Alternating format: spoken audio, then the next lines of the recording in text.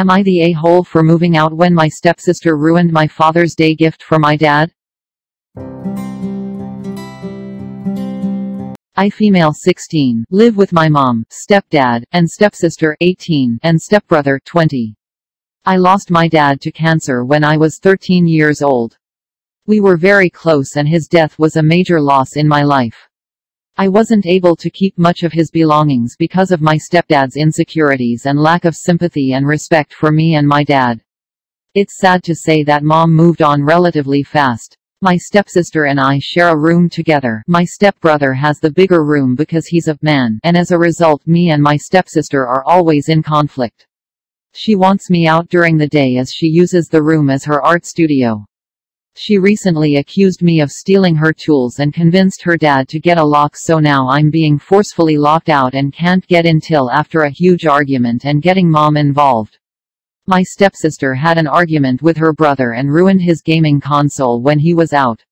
He came into the room quietly in the evening, stood by the door and asked me to bring him my stepsister's acrylic paint set. I asked if he got permission he said yes so I gave it to him and went back to study. Had access to her room and ruined her paint set. There was a lot of yelling and arguing. Stepdad asked how my stepbrother walked into the room when it was supposed to be locked. My stepbrother admitted I helped him out and brought the paint set to high. My stepsister went off on me, called an accomplice then ran upstairs and took the gift I prepared for my dad for Father's Day. I picked up flowers I planted from our small garden that I take care of by myself. And prepared a nice wooden letter-shaped pot tilde used my dad's first initial tilde and filled it with the flowers I picked and decorated it with ribbons. It wasn't that good but it was like a floral letter. I planned to visit his grave and put the gift there. She damaged it to pieces. It was completely ruined. I yelled at her and kept crying. Mom and stepdad gave her harsh punishment and thought it was fixable but I was so done I called my uncle who came and berated my mom and stepdad. Stepdad offered to fix it and punish my stepdaughter harder but I packed my things to go with my uncle. My mom begged me to stay but I refused and didn't respond when she kept calling saying she did nothing to deserve to be shunned by me and my uncle who told the family about what happened. The family told mom not to come visit on Father's Day and are angry with her because I moved out over this. Am I the a-hole? Am I the a-hole for walking out after I opened the gift my stepson brought me for Father's Day? I male 37 have two stepkids, girl 11 amp, boy 16. My stepdaughter is the apple of my eye. I love her to pieces but my stepson has a difficult personality. He never does anything with us, he never let me help him with anything and keeps his distance from me. He also never tells me about his problems or achievements and it's been difficult trying to establish a good bond with him like my stepdaughter. My wife says that's his nature so I should stop pressuring him till he recently started spending time with me but every time he'd pull a nasty prank. Like replace my shampoo or ruin my credit card or ruin my tires rear lights. This caused a rift between us especially since my wife says those are pranks. But I was worried for my safety and got paranoid from getting in the car or going to the supermarket with a ruined credit card. So I kept my distance. Father's Day, I took my wife and my stepson and stepdaughter to her parents' house for breakfast. I received a beautiful gift from my stepdaughter and didn't expect my stepson to get me anything as always. But he did bring me a gift. It looked like a nice gift in a box and was beautifully wrapped and introduced. I was so excited and happy because all I was thinking of was not the gift itself but the fact my stepson is finally letting me be part of his life and remembering me on Father's Day so it meant the world to me. That was already my gift but I couldn't wait to open it and show him my appreciation and gratitude. Well, I opened the box and saw a stinky, old sock of mine that I've lost a couple of months ago placed inside. The look on my face said it all. My stepson encouraged me to show everybody what he's got me. I didn't want to but my father-in-law took the box and pulled out the sock. He looked confused and my stepson started laughing hysterically and so did others. It was an absolute horrible moment I wished I could just jump out the window and run away from embarrassment. I just got up and walked out the room silently while my stepson was laughing behind. My wife came to tell me that I overreacted massively and my stepson was just messing with me meaning it was a prank. But he embarrassed me in front of the entire family and frankly, I don't give a shit about a gift but what he did felt so humiliating I almost cried. She yet said that I shouldn't have walked out like that and made it awkward since I'm the adult and should have handled this better. I left my in-laws house and my wife and kids are still there. My wife is upset that I left and wanted to get some time alone and a good cry and remember my dad and try to keep my mind off what happened earlier. Am I the a-hole for this? Am I the a-hole for telling my kid's stepmother she doesn't get to make rules for my home in front of my former in-laws? I share two sons 11 male and 7 male with my ex. He left me for his wife three years ago, they got married right after the divorce. I mention this because there are some tensions present due to this and also due to the fact my former in-laws and I got along so well and have not been welcoming toward X's new wife. So anyway, X and his wife put the boys in football and a church thing on their time. X actually signed them up for all the time but neither boy likes those activities. X says in his house they must do them. I say fine, but they won't do them with me. X's wife is the one with the biggest issue with my decision. She is very religious and believes boys should play sports and attend church. About a week ago my oldest was picking up a certificate from one of his chosen extracurriculars and me, X and his wife were there while X's parents and sister were outside waiting to celebrate. X's wife starts telling the boys that they need to do the church thing that Saturday afternoon whether they like it or not, which was my parenting time not X's, and that they need to sign up for some other stuff for football which also fell on my parenting time. When we go outside, without the boys, they were with X. I told her she did not get to make rules or demands in my home and she better not do that again the way she did. X's family backs me up and say she's not their parent, etc. She gets super pissed at me for doing that around them and then when X finds out he tells me I'm an asshole and should have waited and discussed it after. I told him I only care about the boys not hearing. And that he needs to nip that shit in the bud if he doesn't want stuff like that to happen again. She told me I made it even harder for their family to get along now and I should be ashamed. Am I the a-hole? Am I the a-hole for telling my adult daughter the truth about why I wasn't in her life?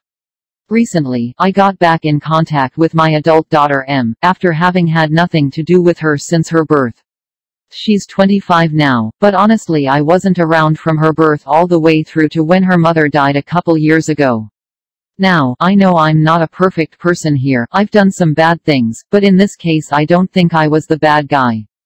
M's mother and I dated for about a year after I graduated high school in 95, while I was just in college. I'll be honest, her mother was a rebound girl. Never thought it would be a long-term relationship, or anything.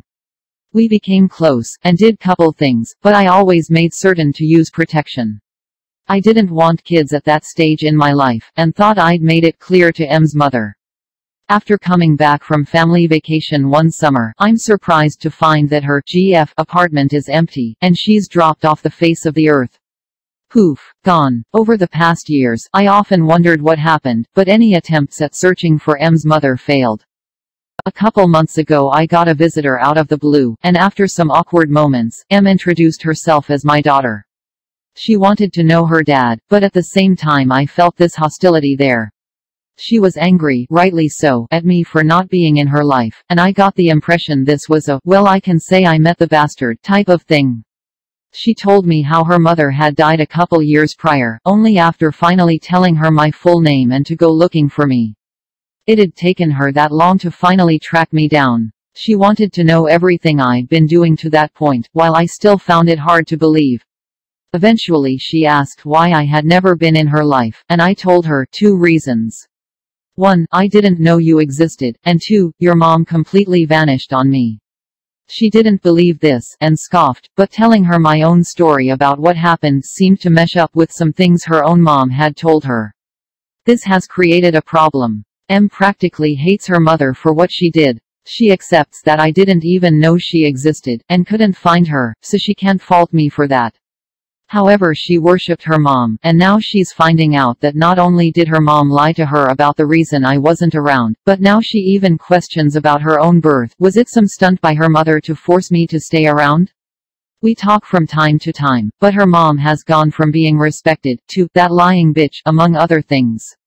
I genuinely feel bad about this, and wonder if I was the asshole for telling the truth and destroying whatever memories M had about her mother. So, am I the a-hole? Am I the a-hole for snapping at my in-laws when they tried to influence us to force our adopted son to meet his birth mother? My husband and I adopted his nephew Kai when he was six years old. He had a rough start. His birth mother was never involved and my husband's brother was a single parent for five years of Kai's life.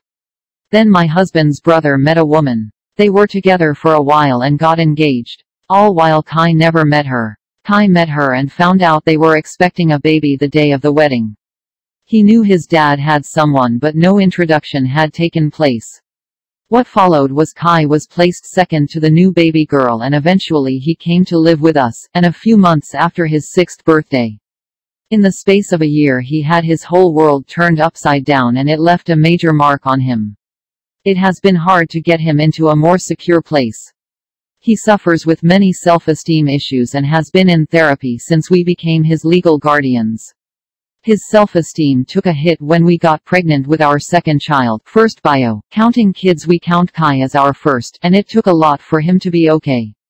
But he adores her and they have a great relationship. Then it happened again with our third child. First he was afraid we would dump our daughter for the new baby.